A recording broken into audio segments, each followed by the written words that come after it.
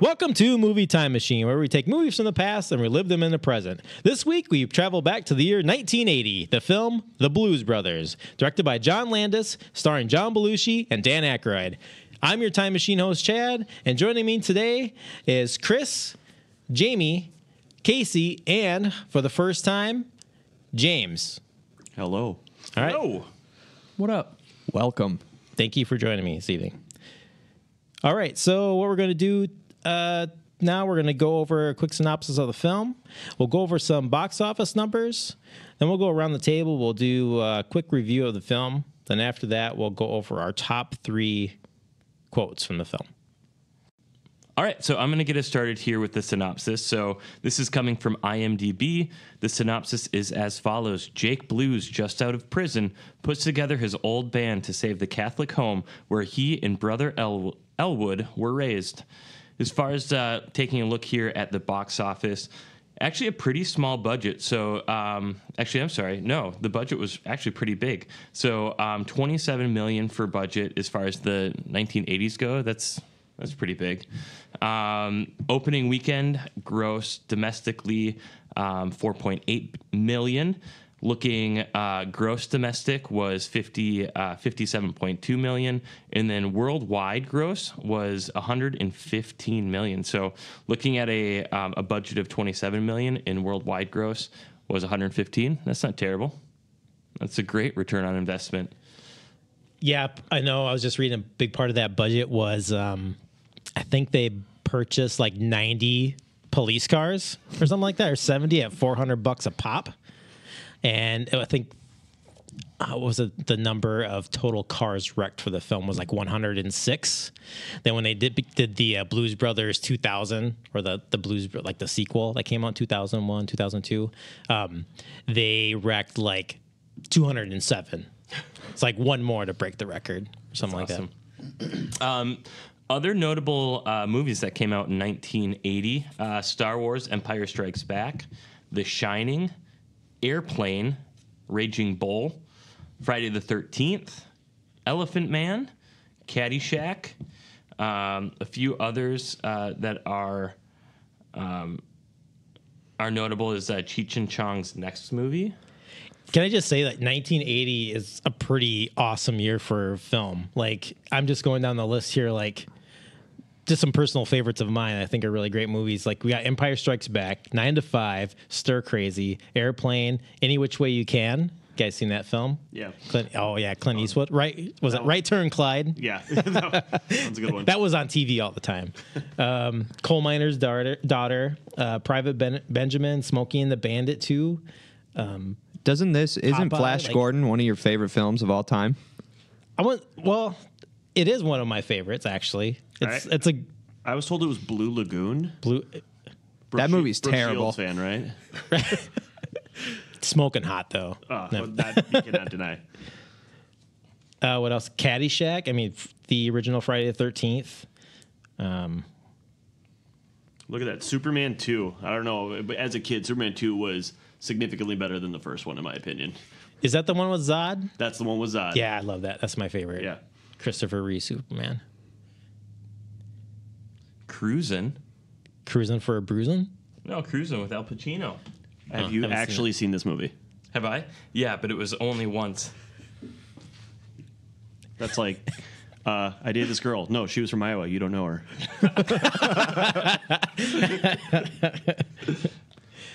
uh, something interesting about some of the ones we were going through right there. I was thinking, like, how much of that from the '80s uh, was like all SNL cast situations? Like, you look at Caddyshack. Uh, there's a couple Oh, yeah, in there good with point. Uh, John Candy, not necessarily SNL. I don't think John Candy. You can correct me on that one, but definitely a part in. Yeah, but Chevy Brothers. Chevy Chase though he was on Chevy the Chase for original sure. Yep.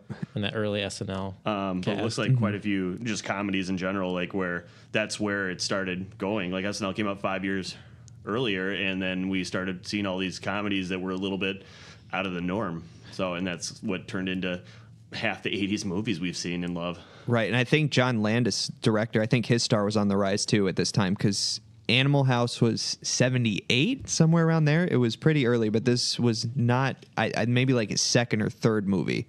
So I think you're right. This is kind of the sweet spot for all those late 70s, early 80s comedy directors and actors. Yeah, you're definitely not wrong. Animal House was uh, so 1978, so that was one of his first that came out. But Blues Brothers was his sequel to that.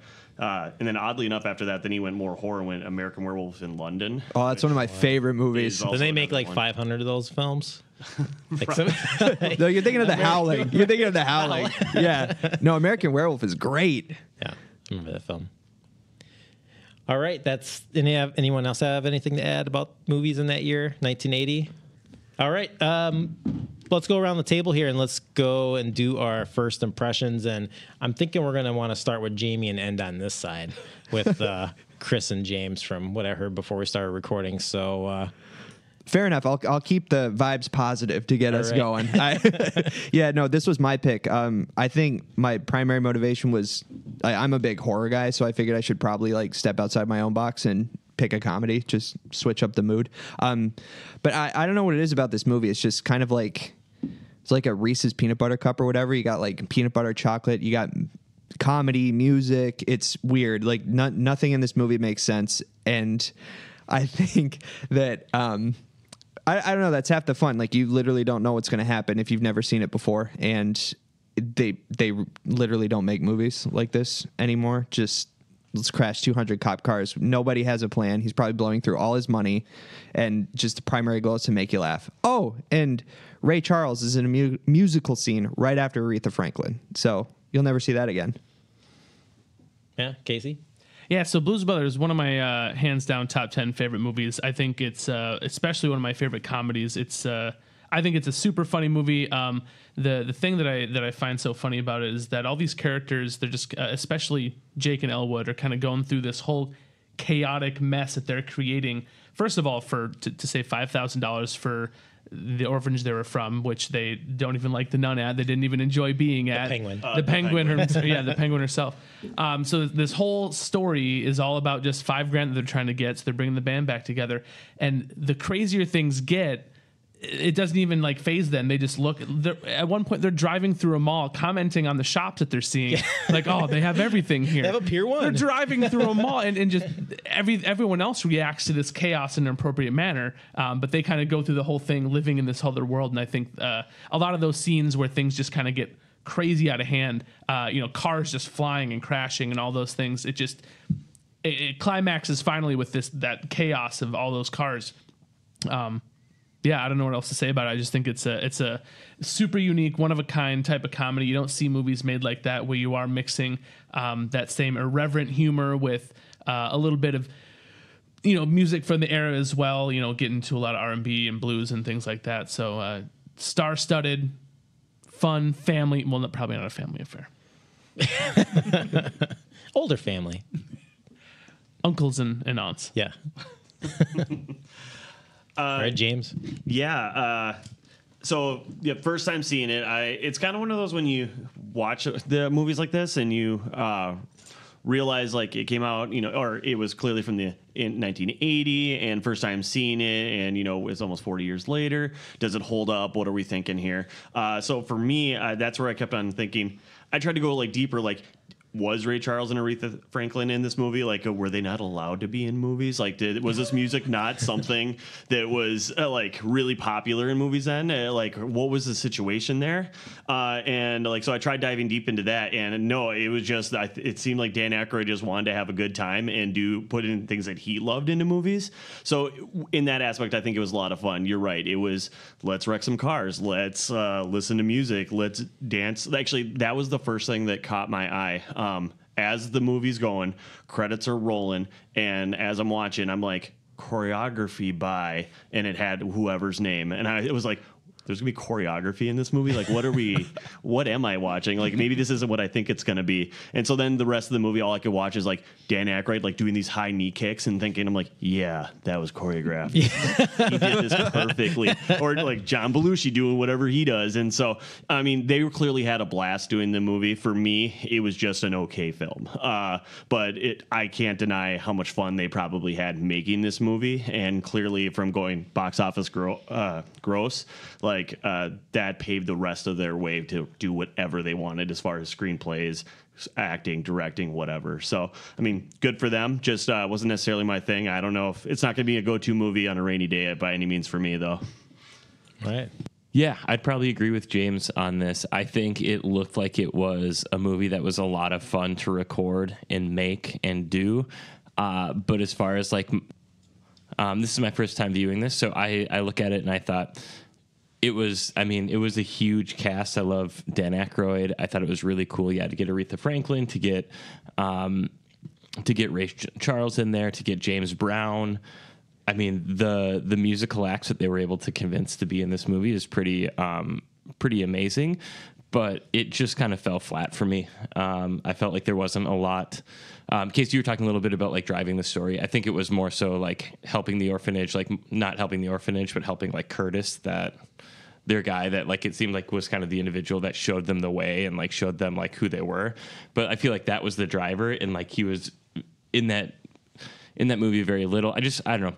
For me, it seemed like yeah, it was just lacking depth and lacking some um some real driving pieces, but I mean, it was a fun watch. I would agree. I probably wouldn't like this isn't a movie that I would need to watch again or really like spend a lot of time like seeking out. I've seen bits and pieces of it, you know, on T- TBS or TNT, but this is the first time I've seen it the full way through and um yeah, I just felt like throughout the entire movie like it's a two and a half hour movie and i like i felt like it could have been done in an hour and a half and that would have been a much better movie Yeah, I think the movie is long. yeah But if you just watch the theatrical version, it is only two fifteen. The unrated's the two and a half hour. Sorry, Chris. no that's fair i did watch the extended version Okay. I watched the theatrical version.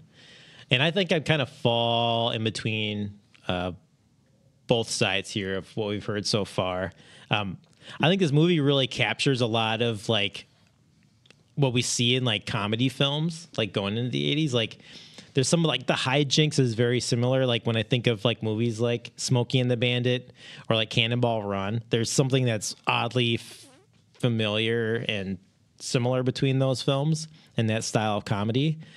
Um, I do think it's a little bit long. There's some things that probably been cut up, been, should have been cut out of it. But um, again, that might be just looking at it through like today's lens versus like you know um, what that movie was at the time. But I think this movie probably is a a very important film though for comedy of like what what it opened up for the 80s and like a lot of great films that I think we got because of what this movie did.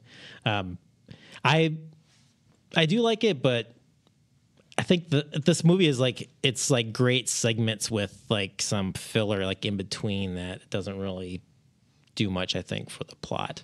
Um, I think this is a movie like I think you should see, but it's not like a movie that I'm to go back and rewatch. Like there's you know nothing that's going to drive me to go back and rewatch this film.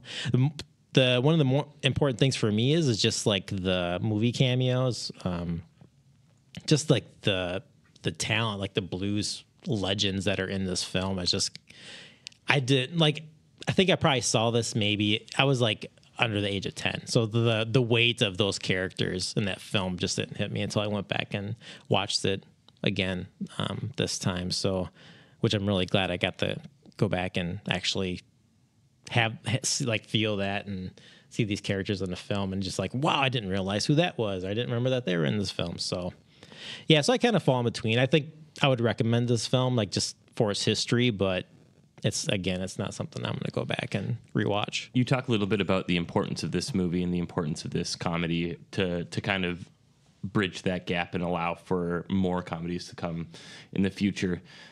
Talk to me a little bit about your thoughts because the way that I look at this, like this movie was just okay for me. If I were to make that argument, a movie that came out the same year, that would be Caddyshack. I think Caddyshack did it so Yeah, much true, better. true, And I think Caddyshack, true. like I look at Caddyshack and I can like that is a rewatchable movie for me. I can watch Oh, it all the time. I Yeah. think it's really funny. Like there are laugh out loud bits for me. Right. So I'm curious, like when you look at like both of those movies coming out um, in the same year, what is it about?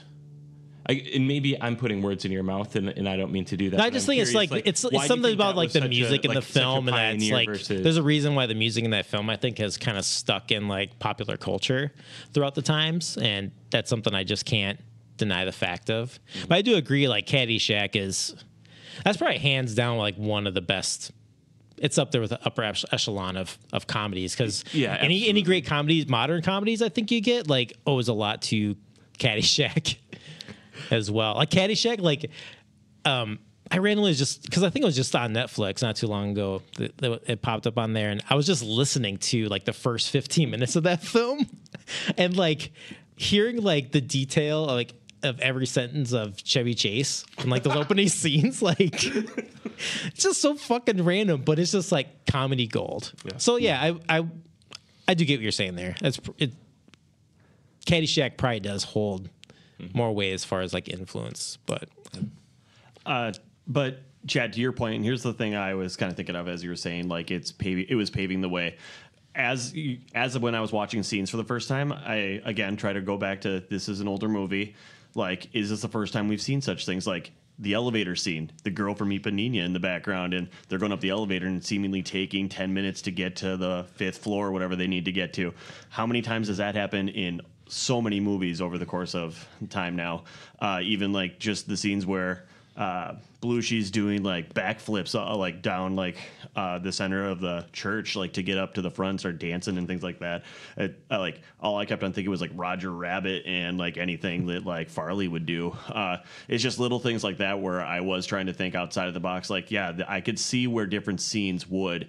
Uh, portray or have been used in other movies. Like it might not have been the comedy gold Caddyshack was in writing necessarily, but the scenes were all there where all everybody in that uh, time and going forward like loved something about it and i and they either used it again and perfected it or just used it because of the nostalgia who knows but i could see that And I want to push back on you guys too, because I not to be contrarian, but because Chris, you took the words right out of my mouth. I was going to go the other way with Caddyshack because I do I do love it, but it's not you know it's number two to Blues Brothers number one. I'm I'm the opposite of you guys, and I think um, with that being said, Rodney Dangerfield.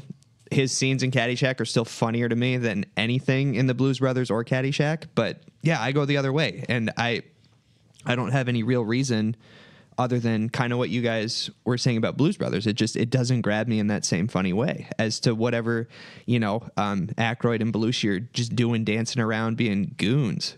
Right. The thing with the Caddyshack, though, this kind of you kind of made me think about this is like Caddyshack kind of has like one of those comedy.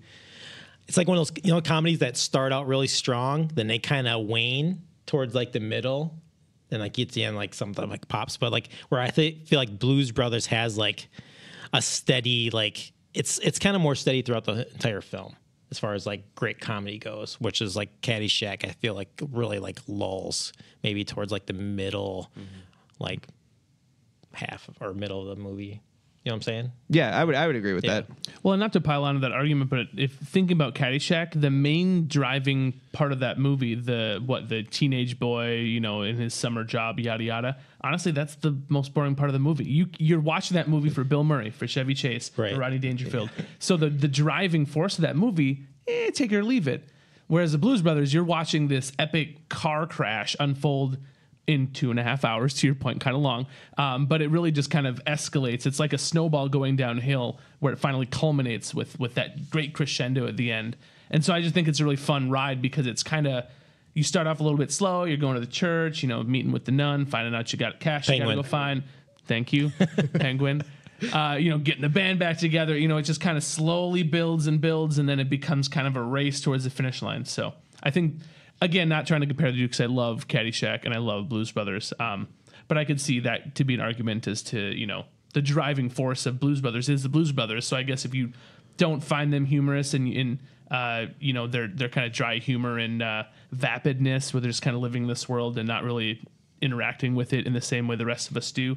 Um, if you're not super, if, if that's not like funny to you, then I could see why the whole movie then would maybe fall flat. Whereas Caddyshack saved if you like at least two thirds of of the people in the movie. You know, back to cultural like impact too. Like just looking at box office, domestic box office. Blues Brothers made almost twenty million dollars more in the box office in, and it was in. Let me see here, five hundred something theaters, five hundred ninety four theaters, and Caddyshack was in six hundred fifty six theaters. So it was in like almost like 150 more theaters and still didn't make. I mean, I'm not looking at like timing of release too. That might have something to do with it, but just a little. And stat. Caddyshack didn't make as much money as the Blues Brothers. domestically for that year. Really, that surprises me because as you know, I, I a millennial, I guess to put a point on you know my era, decade, age, whatever. I, I'm under the impression that everybody has seen Caddyshack They and their out father. like a month apart. yeah, but. During the summer. Yeah, but if Blues Brothers made more money, I guess I just grew up with the knowledge that everyone knew about Caddyshack and had seen it like 50 times, you know? Right. I think Blues Brothers were just so huge because of the SNL ties, because they were so huge, and that actually leads me to my next point. Because Chris was saying, uh, you know, you didn't see the importance of the movie. You know, what did it do for comedy? But I think the real big thing to remember is how huge John Belushi was back then. And if it weren't for things like this, and, and obviously his career was you know cut short, and if it weren't for things like this, I don't think we would have seen the popularity in the '90s of things like uh, Chris Farley and Adam Sandler. Well, Well, that's you just threw out the week sure. Yes, on purpose. on purpose. Okay. but just like some of those other stars other, some of those other stars that kind of grew and, and kind of created the comedy scene that we've seen now i mean none of the mike myers austin powers movies probably would have been made because that was another one of those same kind of same vein Well, I don't know if I I don't know if I agree with that. Part of where my thought process is is I feel like in and I would have to do some digging on this, but you're probably right in the regard of like that helped kind of pave the way. But I also think like Chevy Chase being in I think Caddyshack Caddyshack was a way that like helped Chevy Chase really um, grow his career and like grow his um, prominence. And I think of like movies like basically like National Lampoons. You know, I know that John Belushi did Animal House, but I also think like one of the movies that I constantly, constantly go go to is like you know Christmas Vacation, like European Vacation, like all of those movies, and I think that also had a huge portion of it. But I don't know like where they like where they are within like the scope of like release and what had more influence over. i mean So less more- about the movies that came out but more about like who he influenced and who came out because of him being an actor and finding success Sure, yeah, and I think like the like the Chris Farley, absolutely, and like yeah, the SNL crew, yeah, I think he was early, like him and Dan Aykroyd, um, were were early to kind of be able to create that. Uh, so what I'm taking actually out of this, Chris, is what good comedy is to you is it needs full frontal. One hundred percent. Okay, so Yeah. full frontal nudity. Got it. Yeah, yeah, that's why I love uh, forgetting Sarah Marshall so much. That movie sucks. You know, like oh no Oh, come on. King of unpopular opinions. I hate that movie. Um, oh, so you You're forgot so all about wrong. it then I did. I just lost my thought. I had. Um, oh, what I was what I was just thinking of was is that does anybody know like at this time and like f- again we're not like f- film school people, but like what were like were like c- comedians becoming actors like was that as like I think SN it, like again, like I couldn't speak to this really well, but Yeah. it does feel certainly with that timeline of the '80s that SNL paved the way for comedians to have that opportunity uh, to do that and then move into movies. Like they thought it was funny, everybody was loving That's- yeah, that's SNL. kind of I think feeling I it's get much just of Casey's feeling Yeah. on that where. Everybody was like, "What ideas were going on?" So when you went like Caddyshack, it's like the same director as Ghostbusters. So clearly, all these guys kept on working together, hanging out in clubs, and just started talking stuff. Like, how else would you figure out Ghostbusters if you weren't doing coke somewhere? I may not have right. I mean, my my knowledge on comedians before 1980 is not great. I don't know, like Pryor and Well, well, yeah, but like I'm thinking so like if Pryor you go, still like he his his uh prime though is probably more in the 80s, early 80s. I would say. I, he had Or one maybe, like, 70s late stand up 70s, special yeah. that was pretty famous. I Yeah. can't think of the name, but it But was I on don't know, Netflix like- not too long ago. Was it Silver Streak that came out in 80?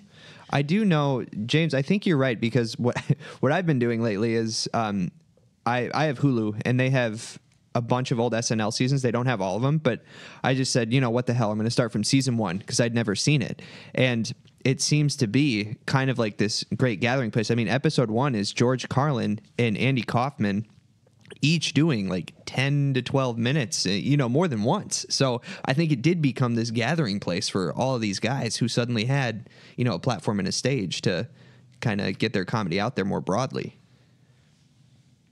All right, just doing a quick reference. Looks like we have like Richard Pryor. He was in Silver Streak that came out in '76. But I, I mean, from my memory, I like the comedians becoming actors things. I feel like eight. Told you so. No, well, like uh, Steve Martin was kind of a thing uh, in the Oh, yeah. late The seventies. Jerk. The jerk, yeah, and Yeah. but so that would almost say that you know Belushi and, and Aykroyd weren't really the first to come out of SNL, but Yep. Yeah. um, you know That's a they good certainly kept that going. Yeah, it's a really good call out. Awesome. This is, I think, this is the first time any of us have sat down and had like this big of a Disagreement? disagreement. That's different good. We can't all be friends all the time. That's right. What, cool. what were we disagreeing about?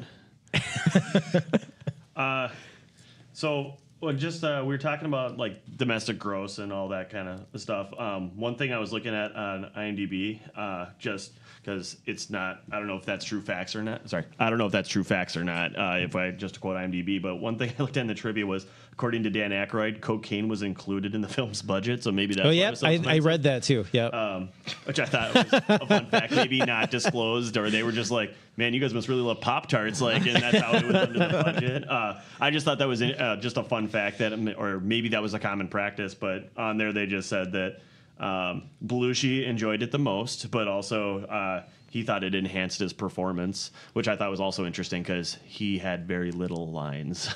right. right. Physical Did he have? yeah.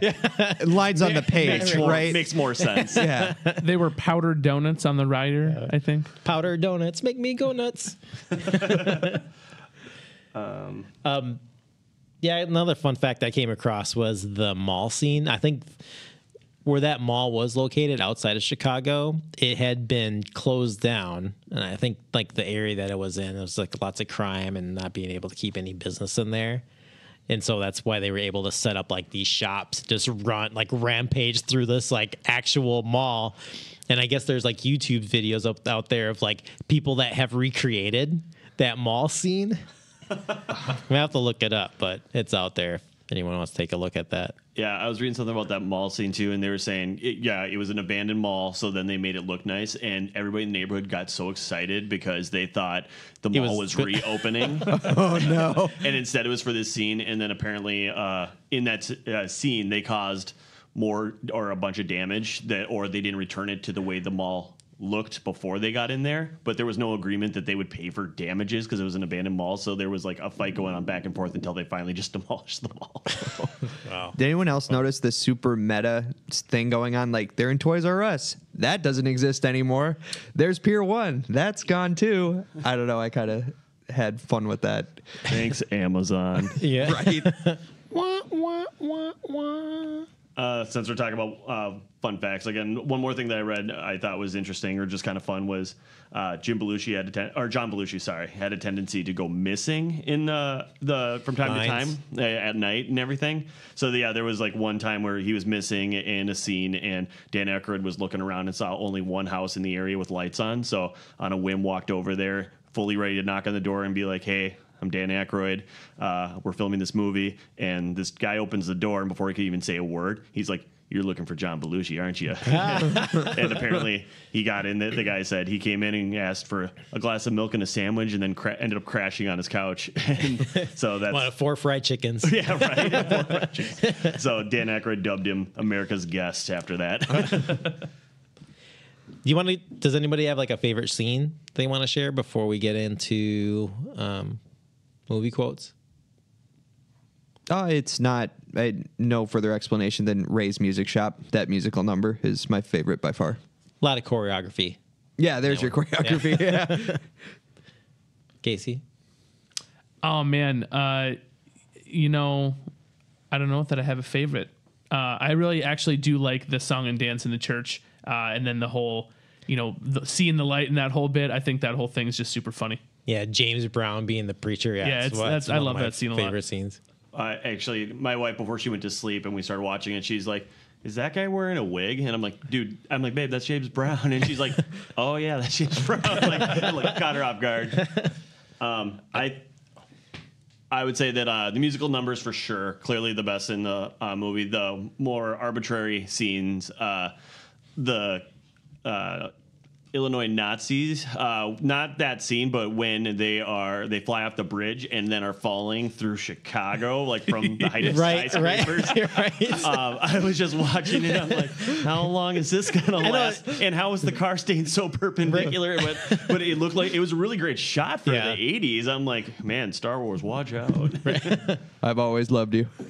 I know, and doesn't that scene too when they're like um, getting chased and they get to the end of the bridge and like the bridges collapse there and like the car like backflips. Yeah.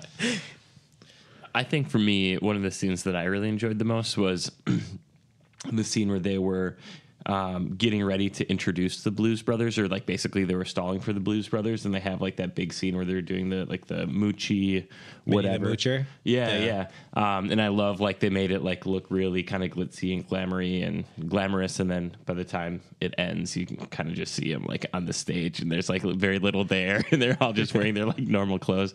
I thought that was a really great scene. I really liked the the song as well. Yeah, I, lo- I really like that scene. I like the James Brown scene too. Just you gotta love James Brown being the preacher. But all right, that was awesome. Great review. Um, let's go around and let's do our favorite quotes from the film. We're gonna do our top three. Um, we'll, we'll start at our number three and work our way up to number one, and we'll just go around the table for each round. Um, I'll I'm gonna go ahead and start this one off instead of always being the one that that finishes. Hey, you do these. you. So, all right. So uh, my number three is we're on a mission from God. I, just, I mean, that quote's in the movie like you know multiple times, but I just love it. It's it's one of those things I think in pop culture is kind of stuck around. So yeah. The way Dan Aykroyd says it, uh, on a mission from God. God, God, yeah. Yeah. Does anybody know off the top of your heads? I was I didn't look it up yet. Like, where's Aykroyd from? Is it Chicago? He's Canadian. I- I'm- Yeah, oh, I- yeah. I seen. I was trying to think from his accent. I, it was like he's got to be Canadian, but I never looked it up. But I was curious because of how. Yeah, he was Yeah. God. God. Yeah. Not too far off though on like the Chicago Midwest. Midwest. Mm-hmm. All right, Jamie. Me. Okay. Um, mine are in no particular order. Mine, my first one is when they're in um, the Soul Food Cafe, and Aretha Franklin says, "We got two honkies out there dressed like Hasidic diamond merchants," and then her husband goes, "Jake Elwood." That's my number three. That's pretty good. Uh, my number three, it kind of goes along the lines that it, uh, of my review earlier, where I just love it that they're so unaware of like where what they're really doing and what's really going on around them. They just seem so absent-minded. Um, it's a scene after they're, I believe, in the phone booth, and Carrie Fisher blows them up, and they go flying. They land on the ground, and the first thing Elwood says, he looks over and goes. "Hey- Hey Jake, got to be at least seven dollars worth of change here. You know about that that scene too, like when she's shooting like the rockets, it's like it's like laser fire from like like Star Wars. It's like choo, choo, choo. Um, I think uh, mine was, uh, I guess, super arbitrary one, but uh, when they hit up the country uh, music place and uh, they're like, "What kind of music do you usually have here?" the lady's like, "Oh, we got both kinds. We got country." And Western, Yeah, and then they start playing like TV show theme songs. Yeah. I'm like, what the heck is going on? rolling, rolling, Yeah. rolling. It also that scene also led me to believe uh, between that and um, Roadhouse that all ba- all bars in the '80s must have had chain link fence to block uh, The- glass bottles. Right. That's kind of what I took from that as well. I never knew Country gla- bars. Glass bottles broke so easy in the eighties. Um, all right, so for me, my number three again, also in no like real order, uh, but I thought uh, when they were being chased towards the end, and they were saying. Uh, the the dispatcher was saying use of unnecessary violence in the apprehension of the Blues Brother has been approved. Uh, for number two, for me, um, same as James there, the country and western quote. It just sounds like something I would hear from my family. growing up, growing up. What kind of music did you grow up with? Country and western, both kinds. Okay, um, my two is a bit of a back and forth between Jake and Elwood, and it's super simple. I it's I think it's one of my favorites because this is something me and my friends just say to each other. Um, shit, what, rollers, no, yeah, shit. There's not much to it. I don't know. It's, I think it's just something we say to each other. That's it. That's perfect. Uh, my number two, uh, it's actually a lot of quotes because it's the scene where they're they're getting beat by the penguin because they keep cursing. Oh. But finally, he, uh, I think it's Elwood falls down, of the, or no, Jake falls out of the chair and, and they're being reprimanded for swearing and just goes, "Fuck this shit, man." I really like when like the penguin asks him, "What did you just say?" and he goes through the entire part. Like I thought that was pretty good. Uh, so I guess oh, only because it just caught me off guard with being a part or being a part of the movie. Like, where do Illinois Nazis come from? But for sure, the Illinois Nazis. I hate Illinois Nazis. Uh, I don't know. It just uh, those two had such great chemistry that when they did scenes like you just suggested, uh, they, it just flowed so well together. Where like they were just like finishing each other's sandwiches. Um, for me, uh, my number two, I really liked when um, Jake got out. El, um, Elwood grabbed him, brought him to his apartment, uh, and they're just starting to get like comfortable. And the train keeps going by, and so Elwood asks, "How often does the train go by?" or I'm sorry, Jake asks, "How often does the train go by?" And Elwood's response is, "So often that you won't even notice." Awesome. All right. Um, one of my last quotes is the uh, where Elwood go, goes. It's 106 miles to Chicago. We got a full tank of gas, half a pack of cigarettes. It's dark, and we're wearing sunglasses. Hit it. Oh yeah, I, when I heard that, I was like, that had to have been on the poster at some point, like in its time or like the 25th anniversary. It had It's to on be right the, there. the on cover. VHS cover. VHS. Is, Is it it? really? I don't know. I'm Oh, just I was gonna say it had to have been right. It's a great tagline. so I think uh, my number one, it always yeah, it just kills me. I forget it's in there. It's when um, I think it's the first chase and uh, John Candy and the cops land in the truck and he's like, "Give me the mic. What car are we? Five five. This is car fifty five. We're in a truck. That's it. Yeah, so my favorite uh, my favorite quote comes from the scene when they're in the restaurant trying to recruit one of the bandmates who's working there at the restaurant, and they're just trying to mess with all the rich people there. And at one point, Jake stands up, and he and I'm gonna do my best impression. He goes, uh, "How much for the little girl? How much for the women?" and the guy's super confused, like, "What?" And so he just keeps going with it. Your women. I want to buy your women. The little girl, your daughters. Sell them to me. Sell me your children. it's just so absurd. Just that they're messing with all these rich people in such a crazy way.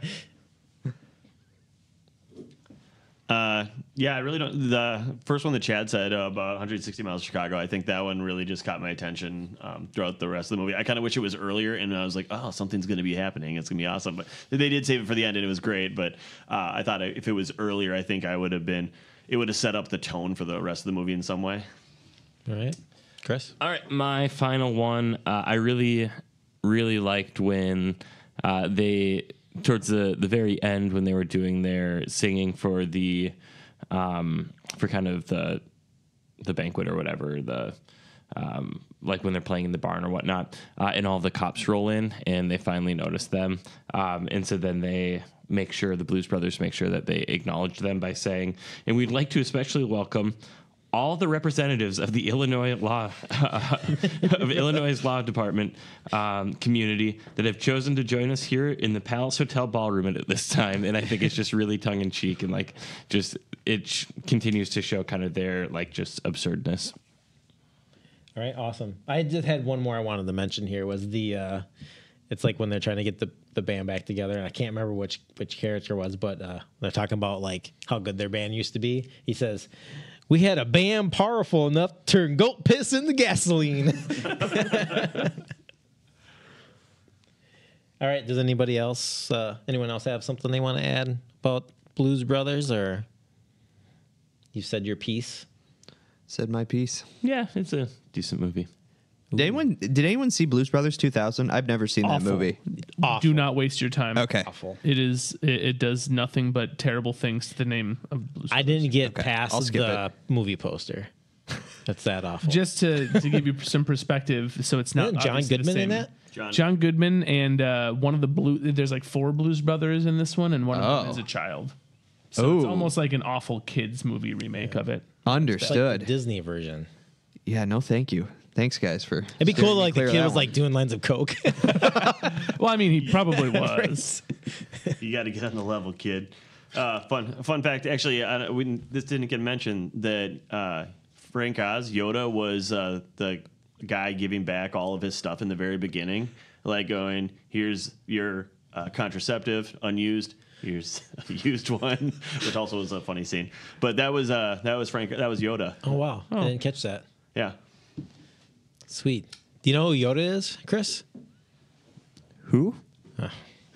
It's funny that, you, that uh, you, a few of you have said you don't think it's a rewatchable film because there was probably a six month period where I watched this movie once a month. I lo- I will watch this movie all the time. I love this film. What age though? Like, oh, like a few years ago, I'm with you on that. maybe Casey. six years ago, in my twenties. I actually never saw it when I was a kid. I found this in my twenties. I'm with you on that. I could watch this every year, every couple months. I'll, I'll give you I'll give you a pass. That's why I was kind of curious when everybody watched some of these things. Like I appreciate the chat said like what ten you thought. I was pretty young. I was probably like seven, eight. Yeah, no, I, I actually. probably- the funny thing is, I saw Blues 2000 before I saw this. Hated it, and then didn't give this one the time of day. to watch yeah, it. found this as an adult, and, and I love it. Because I could say on a similar situation a couple years back, I actually found Goonies for the first time, which everybody had seen. And but then I watched Goonies probably like once a month because I loved it. It's so good. so good, so good. I don't really like. Go- no, I'm just kidding. I love, I love Goonies. I was, I'm do you waiting for Chris. Chris Goonies. Chris doesn't like Unpopular the Goonies, take. Come on, unpopular opinion. hold on, hold on. Everybody describe Chris's facial expression. uh, grimace. no, I just I haven't seen it in its entire- entirety. Like the, what I've seen on TBS, it just it seems really kiddie. It seems all right. Man, you watch a lot of TBS. Not a sponsor. Hashtag not a sponsor. As a kid, absolutely. it's the only channel we had. It's a Are you smarter channel. than a fifth grader? Reruns. Thanks, Chris. Oh. All right. Well, thank you. That concludes our episode, our look into the movie The Blues Brothers. If you have any thoughts, comments, you want to join in or chime in on your thoughts on the Blues Brothers, send us a message at Movie Machine Pod on Twitter. That's at Movie Machine Pod on Twitter. Thank you and good day.